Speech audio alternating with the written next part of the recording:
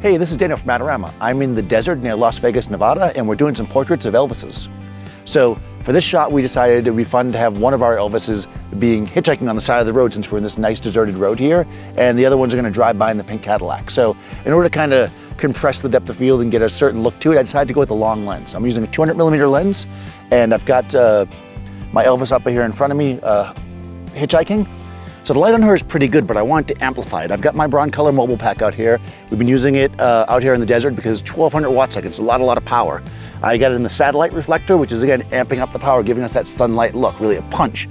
But I just put it where I wanted it, which was slightly off axis from where the sun is, because she's got that beautiful hair coming forward, and I want to get the, uh, the silhouette of that with a nice highlight. So we did that.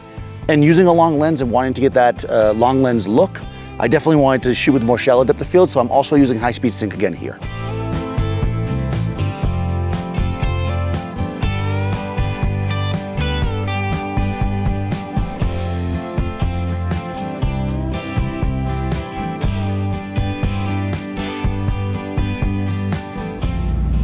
All right, so we produced a lot of cool videos out here today. We had a lot of fun hanging out here, and uh, we're gonna continue cruising through. Probably gonna hit the strip now. Thanks for watching. Be sure to subscribe to Adorama TV, and I'll see you next time on set.